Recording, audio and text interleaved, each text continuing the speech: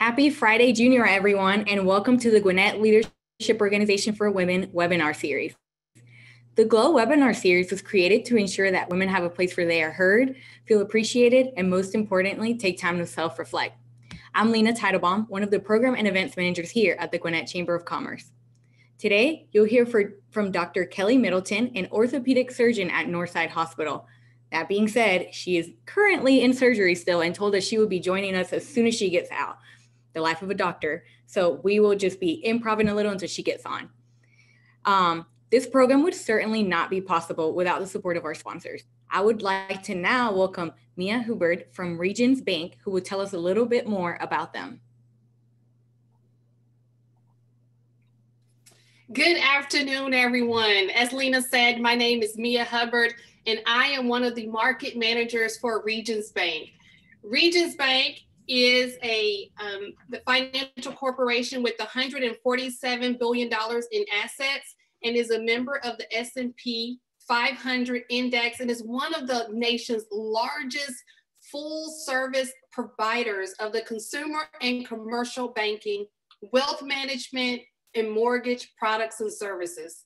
We serve uh, our customers across the South, the Midwest, Texas, and through its subsidiary uh, offices. We have over 1,400 banking offices, 2,000 ATMs, 370 video bankers.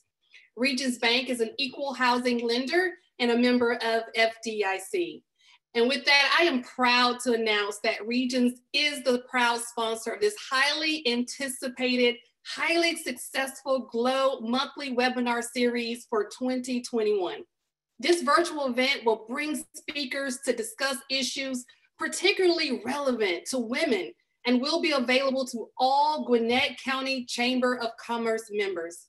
Regions Bank continues to align ourselves with organizations such as the Gwinnett County Chamber of Commerce that supports diversity, equity, and inclusion, and that really highlights women in leadership roles. At the end of this webinar, you may have additional questions about regions. My team and I will be happy to assist you in any way possible. You can schedule an appointment on regions.com for a location that's nearest you, or feel free to email me at mia.hubbard at regions.com. Thank you and enjoy the webinar. And with that, I'll toss it back over to you, Lena. Thank you, Mia. And thank you so much to Regions for being our Glow webinar sponsor. This means a lot to all of you ladies watching. That means that we're able to do this for 10 more episodes this year. Last year was our year of just going with the flow, but thanks to them, you will all be able to log in for free. There will never be a cost for this. So not, I'm using this time for share it with anyone. They don't have to be from Georgia. They can be from truly across the world and just log on to this link. And we can't thank Regions enough for that. Next, I want to thank our Glow annual sponsors. Thank you to our presenting um, sponsor, Northside Hospital. Thank you guys for everything you're doing, our nurses, and everyone who's taking care of all of our COVID 19 patients. Next, I want to thank our principal sponsors, Duke Realty. Hi, Jamie, and hi to the Duke Realty Women's Network. There's a lot of you on here, so I just want to say hi. Um, thank you to Wealth Horizon, Hi, Jerry and Lynn. Thank them because they have been sponsors for, they're the longest standing GLOW sponsors. Next, I want to thank our supporting sponsors, Level 7 Facilities. Hey, Margot and Angie, thank you guys for everything you do for our community. And lastly, I want to thank Georgia Credit United Union and Highly. Next, I want to thank Suwanee Town Floors. If you guys are looking for some last minute Valentines, go ahead and reach out to them. And then Twin Cookies and Sweets. She makes the cutest cookies ever. Um, look her up on Instagram. All right.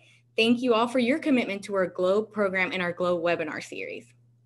Before we get started, I want to tell you all about our next few chamber events. First, I would like to tell you about our Gwinnett County State of uh, our Gwinnett State of the County address.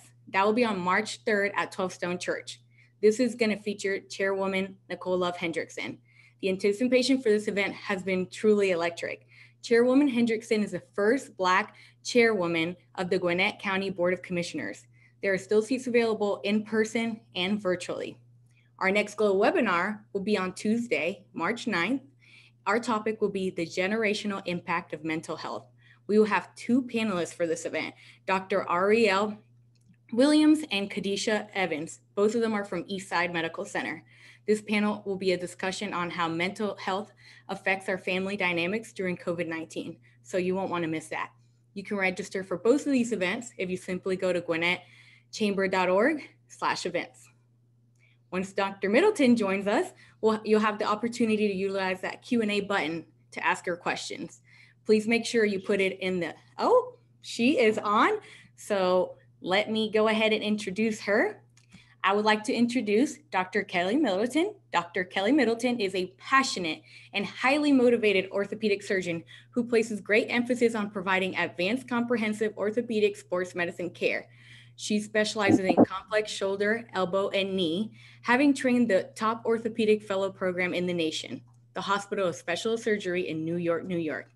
During her training, she helped take care of the NBA and the WNBA teams, the New York Knicks and the New York Liberty. She also served as an assistant physician for Woodland Hills High School football team in Pittsburgh, Pennsylvania. As a Georgia native, she was a three-sport high school athlete she graduated early from University of Notre Dame as a Big East Conference player and continued her NCAA career at the University of Georgia. At U- UGA, Dr. Middleton became a two-time All-American while earning her master's in public health. She then went to work into Berkeley, California in public school and public policy while playing professional fast pitch softball in medical school. We are so happy to have you here with us, Dr. Middleton you have the floor. Thanks, Lena. Can everybody hear me? Yeah, okay. Um, thanks, Lena. I appreciate it. So I am actually just finishing up with surgery and in between another one. So I just figured that this was actually the perfect time to talk about loving oneself in the OR. I tried to get the lighting a little bit better. I could not find a good spot. So um, you guys just let me know if there's anything with the audio or lighting or if you can't see. It's just gonna basically be me chatting, me talking.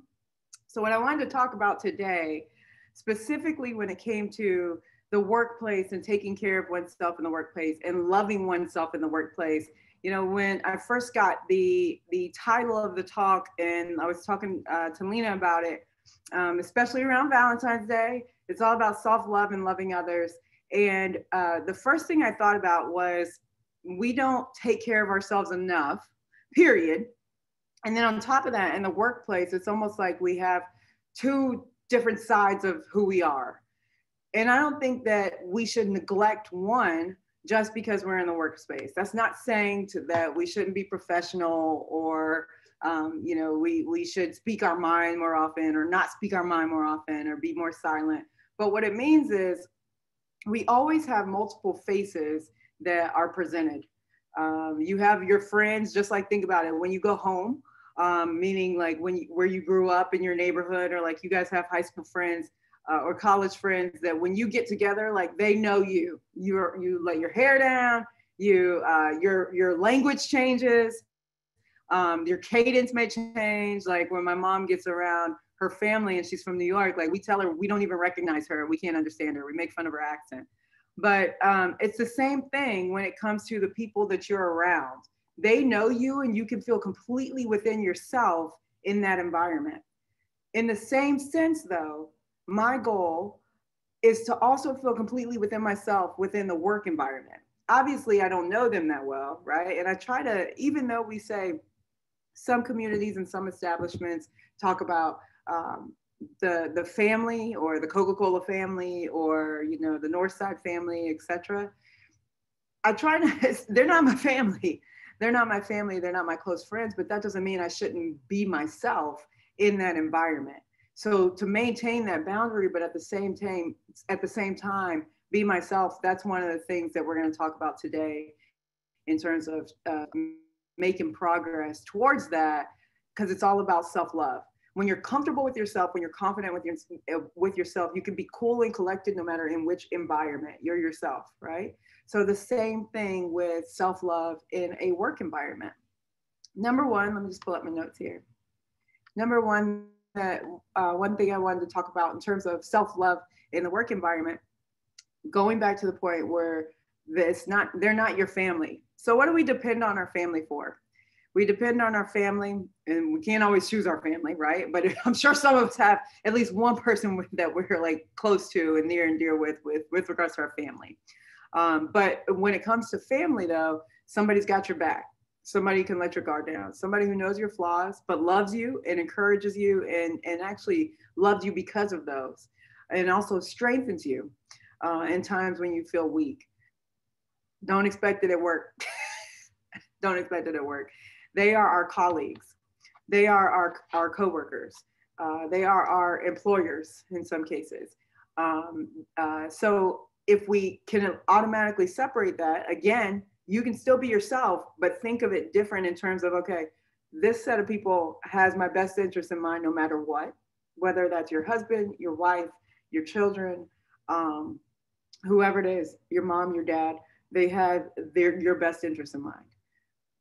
That's not always the case in a work environment. It would be nice if they did, but don't expect it. So then if you have that understanding, you can still again be your cool, cool, calm, collected self and be comfortable and confident in it. But your expectations of that relationship is totally different. And, and when I finally wrapped that around my head or wrapped that around my brain and was able to capture that, it eliminated a lot of stress that I felt that I, I had to, um, you know, be a certain way or or maintain a certain relationship with certain people or what if you know now they don't like me and now they just take it away. You treat everybody with respect. And when it comes to your family you have your family. You don't necessarily need your family anywhere else. You have your coworkers. In the same sense my teammates. So when i played softball when i played professionally in college etc i had teammates i had some teammates that were friends but I didn't, the rest of them though were teammates. So what does that mean? That means if we were not playing softball, would I have ever been friends with them? Probably not. But when we're there together, we have the same goal to win. Right now in healthcare, for me, it's to take care of my patients, right? When I'm in the room with my team, our same goal is to take care of the patient. When we were when I was uh, uh, on the field with my team, the goal was to win. You know, so when you're at work with your team, the same goal should be to make money, you know, to get that client, um, to push out those products, to ship this, etc. You should have that goal. And everybody's goals are different in terms of achieving the one big goal that we all have in common, but they don't necessarily have to be your friends. You may have some, and it may be a plus that you have somebody that's got your back uh, in a team environment, but they don't have to be. They're your teammates. So as long as you have the the goal in sight and you can work together you eliminate a lot of those expectations of, oh, I don't know if she's gonna, uh, or he's gonna like this or that, or being concerned about what others think. It shouldn't matter because if everybody maintains that level, those boundaries of this is my family, these are my close friends, uh, these are my kids, these are my whoever, and then these are my my teammates, right? Even if sometimes you have teammates who are friends there, yes, they're over here, but these are your teammates. It's the same thing in the work environment and it eliminates a lot of stress that you typically don't need uh, in the workplace. Um, one reason I'm talking about that more so than even like loving yourself in terms of, uh, you know, taking time out. Last year I spoke about taking time out to exercise, walk, do yoga. Uh, and I would still encourage those things to maintain yourself. That is a part of the whole self love to maintain yourself. But one thing though that I will say that I'm going to really uh, harp on this year too is in the workplace that's especially now guys like this past year has been difficult for a lot of us and every day i wake up i put my feet on the ground and i say thank you because i get to go to work um, because i'm walking because i'm alive because my family is safe thank god um, but i've had coworkers i've had friends um, who have lost um, parents recently um, i lost a uh, friend from college. She was around my same age. Um, she was 35 years old, left a 10 year old son um, when she died secondary to COVID. It's been it's been a hard uh, you know 2020 and we we all know that and we all have our stories and it's tough and there's a lot of people that are still going through. And on top of that, there's a lot of people that don't necessarily have uh, a job to go to.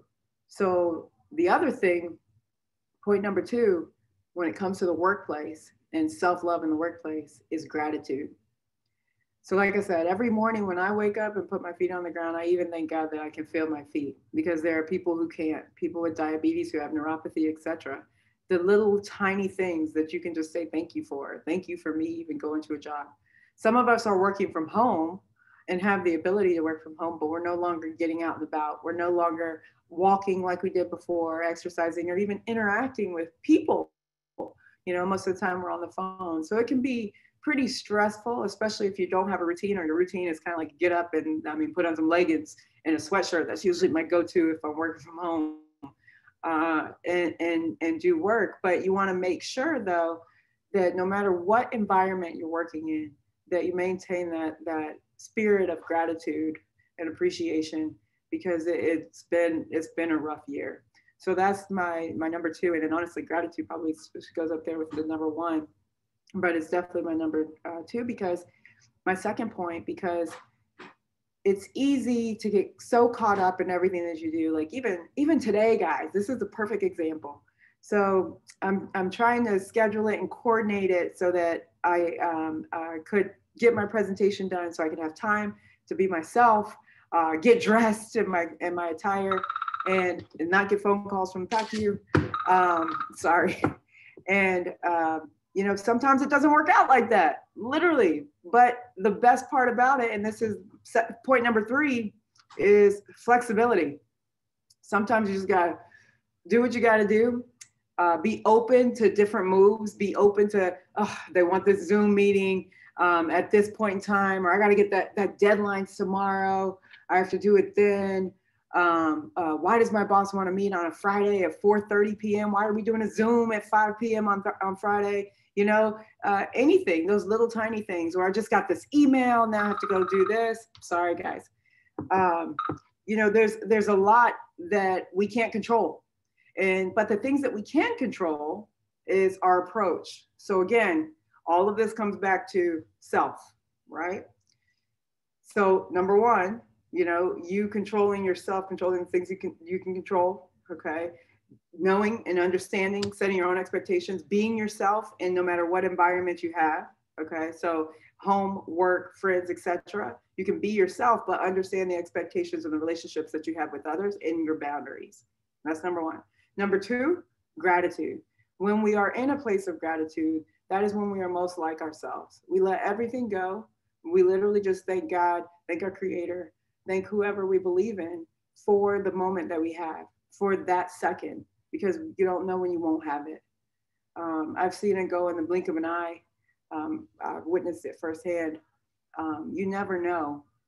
And so that spirit of gratitude helps bring you back to your center and helps bring you back to who you are. And it also always, always, it makes you feel more in the cool, calm, collected, confident, just the, the stress free zone of who you are, of me. That's your true self. And we don't always have that, but the, these are the things that bring us back to that true self. And then, as I mentioned before, for my third point is flexibility.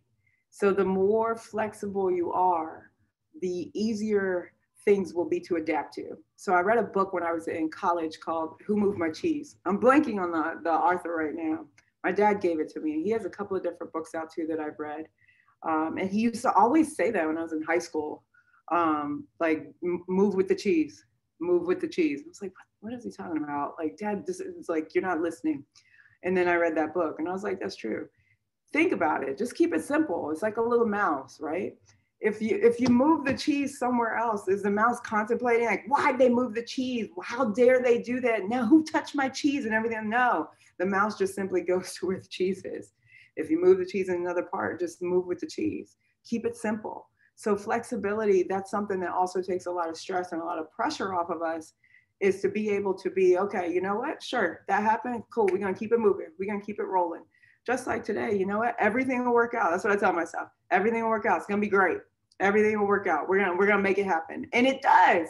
It does just with that attitude, and I think that that makes a huge difference as well because what's the alternative? Me being like, oh gosh, this is gonna be horrible. Nothing's gonna work. It's not gonna happen. I mean, and if it doesn't happen, would you rather be upset you know, the whole day thinking, uh, you know, thinking about the negativity? Or would you rather be happy the whole day and then, okay, it doesn't happen? Keep it moving, keep it flowing. And not to mention, I honestly believe that those energies, if you're staying in a positive and a flexible and a, you know what, it is what it is, we're going to keep moving, we're going to march forward, onward, and upward. Or, you know what, sure, that doesn't work. All right, cool, let's do it this way, let's do it that way. And if you maintain that open mind and that open flow, that's when other opportunities can actually come in. But when you're fixating on one thing that has to be done or or one person, you had it all set up and, and somebody, you know, moved your stapler this much, you know, or you had it all set up and and you know, one of your kids didn't put, you know, his dish his dish in the sink or something like that. That adds to our stress and it takes us away from who we are. And truthfully, that's why when I think about self-love, it's you being who you are because it's it's you know, there's all sorts of different definitions, but it's you being who you are, comfortable who you are, and in the moment of who you are. So if we allow certain things on the outside to impact us, i.e., relationships with employees, etc., if we don't take, uh, if if we take for granted the little things that we have, you know, feeding ourselves that day, um, opening our eyes and actually being able to see, um, having our family there, um, you know, having FaceTime, that's been a huge thing because, you know, shoot, 10 years ago, we wouldn't have been able to, to do that, um, to communicate, still communicate with our family members. Little things like that, to, to not take those for granted and to be grateful, they bring us back into that space, into that cool, confident, collected self love space where we can be ourselves, fill in the blank, where I can be me. So, number three, that one is flexibility. In terms of I know that you know a lot of people say this, especially when it comes to self-love, is um, learning to forgive and let go. So that's number four, and that's probably the toughest one. And I'm not just talking about other people. What I really am talking about is yourself, ourself, oneself um, you know, there's a lot of us who, there probably even a lot of us too, we're doing this webinar. Yes, we're your go-getters and we love to be supported and surrounded by one another. And I think that that's awesome. And we could, we should continue to do that and build one another together, you know, build one another up. But we are also, because of that, pretty hard on ourselves and pretty hard on other people um, and pretty hard on even the people that we love. But I think that one thing that's very important is if you can forgive yourself, and if you can let yourself let your own guard down or your own mental attacks not necessarily you know bad attacks on yourself but just beating yourself up or feeling guilty over certain things if you can just let that go it's easier to do that with other people. And also those people will want to spend more time with you especially with your family or your loved ones your friends and even even your coworkers like some stuff just let it go. Because you know what I make mistakes. We all make mistakes. At the end of the day, no one is perfect, right? So if we let that go and understand that, even in the moment, there are some moments that are so intense, especially when it comes to life and death, where I am intense and I expect everybody to be perfect. We got to be on it. And I literally say, y'all, we need to be A game every day, A game, A game all day. But if you always set your expectations like that, or at least strive, okay, because you have standards, and everybody does their best, that's all I ask for. Because sometimes things happen that are unexpected, and sometimes mistakes happen. But if everybody is on their A game and doing their best, in those the, the number of mistakes or the depth uh, the, or the volume of the mistake is going to be very small, minuscule. If everybody brings their A game, yes. But if a mistake does happen and you're doing your best, you don't beat yourself up for that. You know, this past weekend in the Super Bowl, one of the reasons I love Mahomes is because if you look at him on the sideline, he kind of looks the same all the time. The only difference is, you know, sometimes he's smiling more than uh, compared to, you know, if he's winning versus if he's losing. Uh, but he's still cool on the sideline. He's just like this. He looks the same, which is awesome because you get to, if you have that type of control to where no matter what goes on, so going back to finding ourselves and our love and our center, because that's when we're our true selves, and that truly is self love we're there, we're calm, we're cool, we're collected, we're confident. It doesn't matter what else is going on around us. It doesn't matter. And when we're in that space, that is a true, that is the pinnacle of self-love because we're in that moment and we we love ourselves so much that there's so many things going on around us that can be chaotic and it doesn't matter. It'll all work out. It's like we're in our zen zone. That's that point of self-love or when you see for instance you know when i saw um, my nephew for the first time his picture and he looked exactly like my little brother i like immediately just everything just it didn't even matter especially because my brother was was deployed at the time when his son, his son was born um, so he missed the first six months of his life you know it, it just touched me in such a way uh, and eventually one day it will when I have children, but it just me, it just touched me in such a way that um, nothing else mattered. And it's that same feeling, that same com- comfort, that same love where it just was. You didn't have to force it. You didn't have to think of anything. So our pathway to getting there, number one, set your boundaries and know what to expect. You have teammates who are also your friends and you have some friends who are on your team, right? And those are your teammates too, but separate it, just like your coworkers, etc. And then the number number two, gratitude. So gratitude is a great attitude to have no matter what, because you'll keep getting more and more and more. Not that you should be grateful just so you can get more. I don't want to, you know, push that message a little along. But it's true though. When you have an attitude of gratitude, things come to you, things happen. And then three, flexibility the more flexible I am, and I even sense it, like the more at peace I am, the more in love with myself in that moment, etc., that I am, the more I realize that, yeah, sure. Because you move, it's almost like watching a, a river or watching the clouds. You're just there. You're moving with the clouds, you're moving with the wind, you're moving with the water. And that truly, again, is to get us back to our zen, our zen zone or our love zone for ourselves it's that cool, calm, collected, confident space that all of us deserve to be in. Every single person deserves to be in. And we all have things that we can use. We all know which they are individually to get there. And then four, forgive. So we do have to, I think that's hard to do. That's tough to do. Um, you know, especially when you're so driven, if you're type A or A plus or A plus plus or triple A, um, you know, it, it is tough to kind of sit back and say, you know what, it's okay.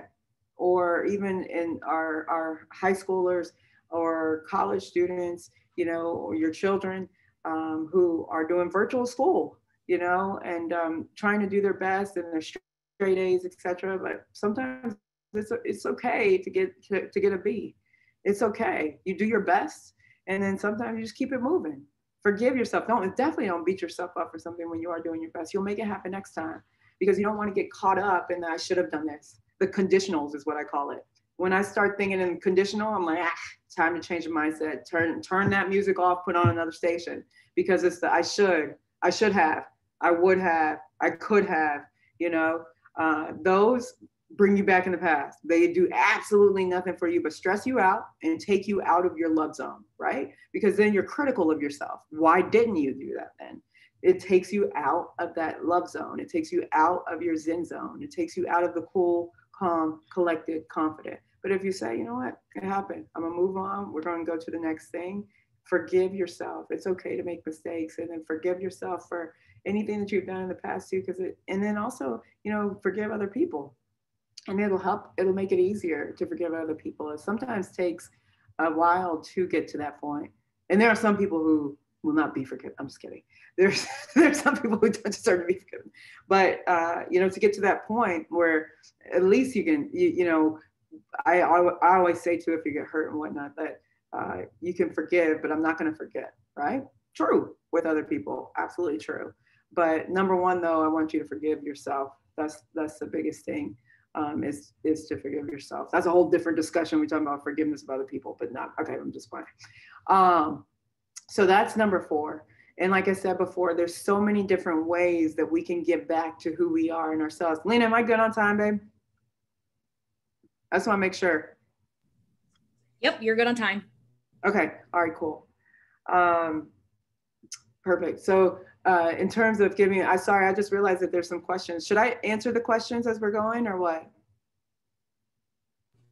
You you sure can. Okay. All right, cool.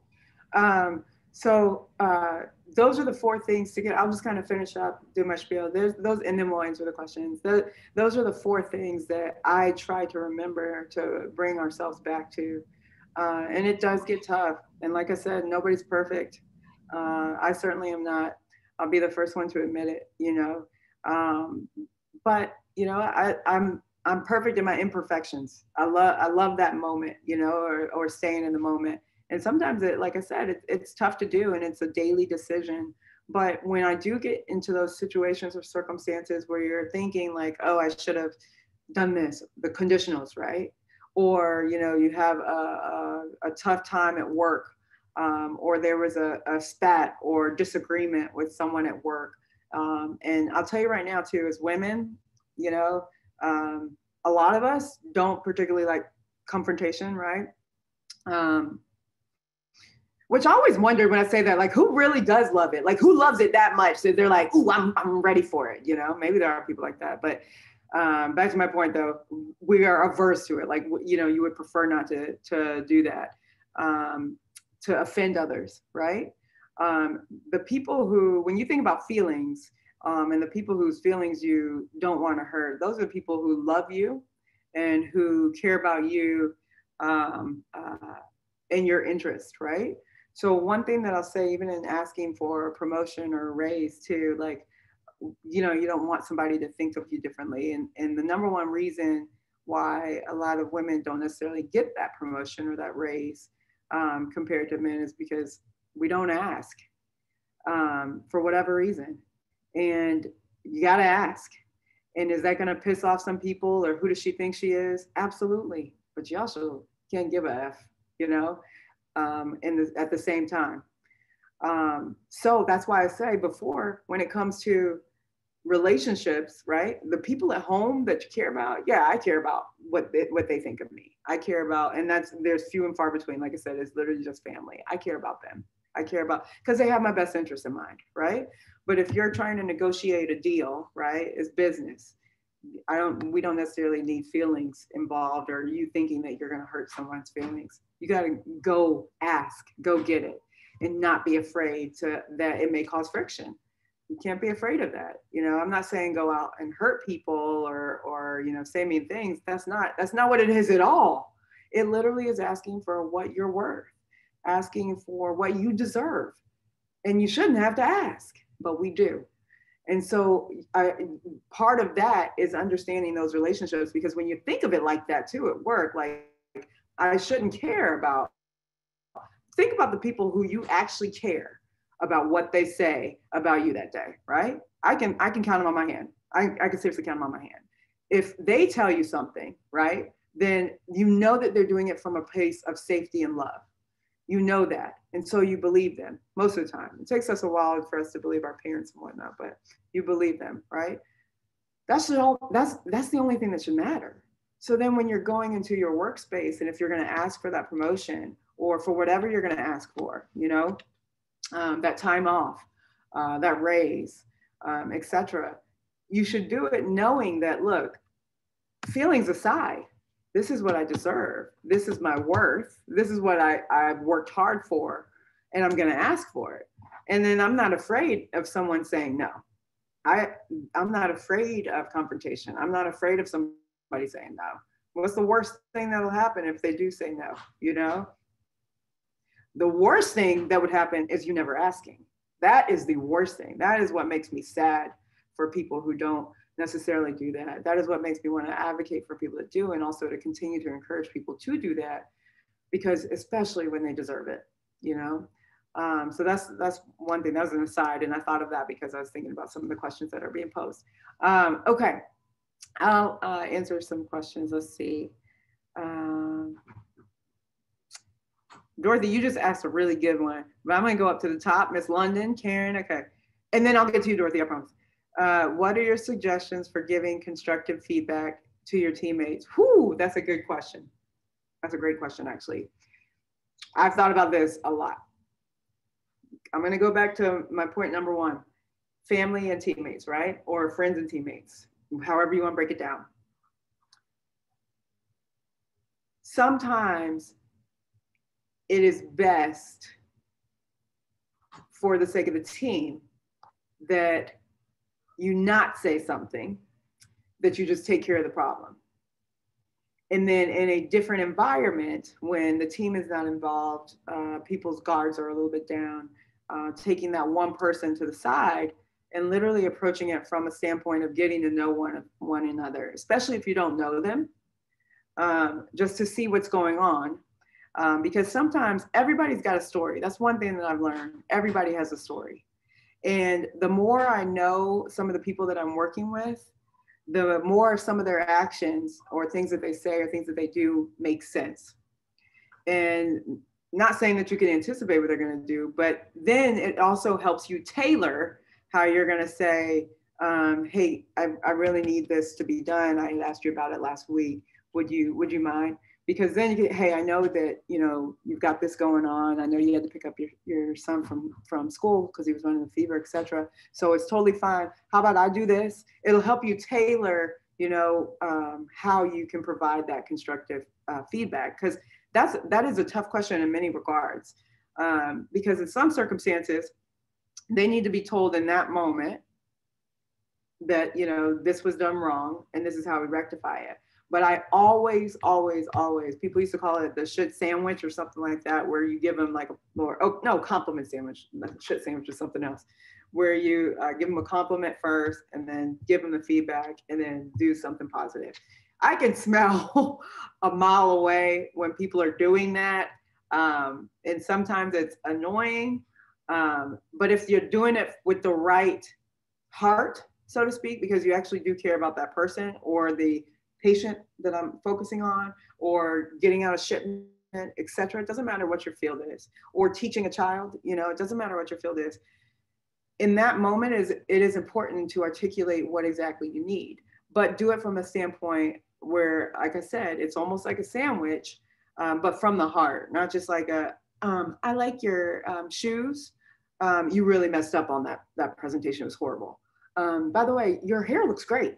You know, not like that. It doesn't work like that. You just let them know, like, hey, um, how how are, how do you feel like things are going right now?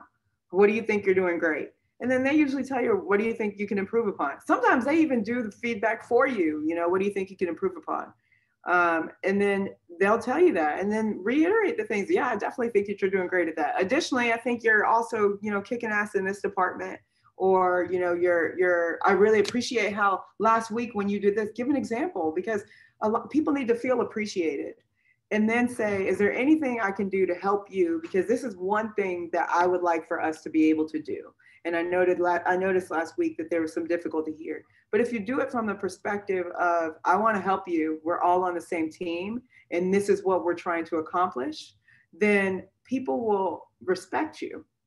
Um, people will then maybe even go to you um, for uh, that feedback, for constructive feedback, because they know that they're going to get the truth. And also, I think confidentiality and secrecy is important. And um, because even when I was coming up as a resident too, you didn't really trust the teachers or your seniors who would have those conversations with you and then go and complain about things that you've done or complain about a junior resident to other people. Like that's not helping the situation. That's not helping the team. If you're going to have that conversation with someone and have that constructive feedback with somebody, then have that conversation and then it's done. And then nothing else comes from it. You don't tell anybody else. It's between you and that person. And I think that that helps build the trust and that they start to do better because they feel more comfortable around you and they respect you. So that that's one way. Um, uh, or I hope that answered your question, Karen, for for um, you know giving feedback. Um, Lee Grant asked Spencer Johnson. I, I don't know who that is. Uh, I'm just kidding. How do you deal with your with coworker conflict and taking the high road? when someone offends you? Whew, that's a great that's a great question. Um, it depends really. Um, it, it, you got to know where you are. It's hard sometimes because you're not. There are times when I forget where I am, and that you automatically want to just be like want to just like jump on it, especially if it if it's a safety issue for me. Um, or it's it's like a uh, you know why like especially if it's like somebody just being ugly to be ugly. Uh, I don't really and I don't really tolerate like bullies or people saying stuff like that um, to other people. So I have to remember at all times where I am. Um, taking the high road is tough. One thing that I started to do was I um, count. Counting has been super helpful. Or I take a step back and I just breathe. And then I come in after about three or four breaths and I say, okay, so what happened? What would you like? You know, like what's necessary? And then it's interesting too, because when people say something offensive and you don't necessarily respond right away, that it's actually more fearful for them. Because if you just sit and you listen and you look at them and then they realize what they said or what they did, some of them backtrack, some of them don't. But at that moment, that's when I kind of have to go in and do my breathing or I'm counting and I just make put it in a mental note, a mental the mental Rolodex sometimes because you can't always say something because if you said something every time somebody offended you or said something that was slightly offensive, I mean, you'd be running to the principal's office every day if you you know were a student. Um, so one thing that that helps me is if, if I'm in a heated situation or if something was said that I don't totally agree with, either not responding, uh, taking a step back, um, or counting. And then um, the other thing I would say in terms of of uh, you know uh, if somebody offends you too, my mom used to always tell me Q-tip, quit taking it personally. Um, don't even don't even take it personally. And so for me, I just let it go. Like let it roll off the back. Sometimes easier said than done, and you feel horrible. You feel like shit. Um, if it's whether it's your superior or you're embarrassed in a group of people, I hope that doesn't happen. But let's be real, sometimes it does.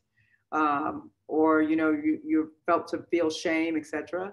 It's hard to do. Or if somebody says something offensive, particularly given the time, or because you're a woman, or because you know uh, Vietnamese is your first language, or they're making fun of you know something going on, then that's that's unacceptable. And I think you have every right to say, you know, um, I don't appreciate that comment.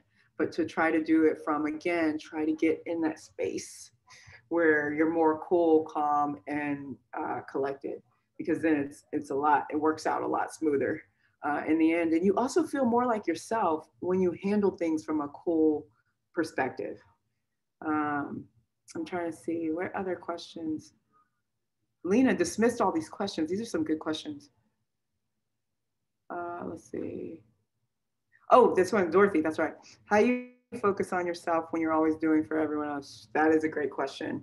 Um, I think everybody should wake up and put an alarm in their phone that says five minutes a day, I'm going to do what I want to do. I honestly think everybody should do that. Or what I started to do was not do it as a time thing, but literally every day I do something that I want to do.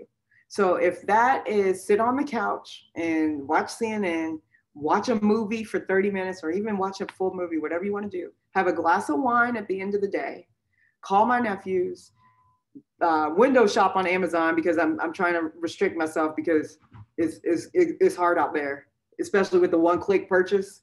Um, anything that you want to do though, you should do something for yourself. And it doesn't have to require spending money. It can be taking a bath, picking, oh, well, I guess picking up flowers would spend money. Um, but get it, get flowers for yourself, but do one thing for yourself every day. And I think that that's one way that you could take care of yourself while focusing on everyone else. And then one thing that I realized is that, sorry, Lena, this is my last point. one thing, one thing that I realized in terms of loving yourself is that if you don't love yourself and maintain yourself, you are not 100% who you are for everybody else. You can't take care of your patients as well. You can't take care of your kids. You know, you can't take care of your family members. You've got to be able to love yourself because that's your superpower. That's your energy. That's your everything. So you have to be able to maintain that in order to take care of everyone else. So the, the one thing I do, like I said, is is something every day for me. I love that. Dr. Kellie Middleton, amazing as always. Thank you so much for joining us today and giving us such a great speech. I loved all of those points. Gratitude resonated a lot with me. I think that's very important. Um, and gratitude towards you for in the middle of a surgery doing this for us. Like that's so that's really awesome. that's really sweet. And I know all of us appreciated your points and we can't wait to see um, what we have in store from you later on in the year. Um, I wish you the best. And for everyone who tuned in, We have a great 2021 Glow webinar series planned for you all. You'll get an email from me that will have um, the recording of this webinar if you'd like to share that with anyone, as well as um, registration links for the events that I talked about earlier and our next Glow webinar. I hope everyone has a great Valentine's Day. And like Dr. Middleton said, pick something up for yourself, yep. do some self care. Have a great day. Bye, guys. Have a good one.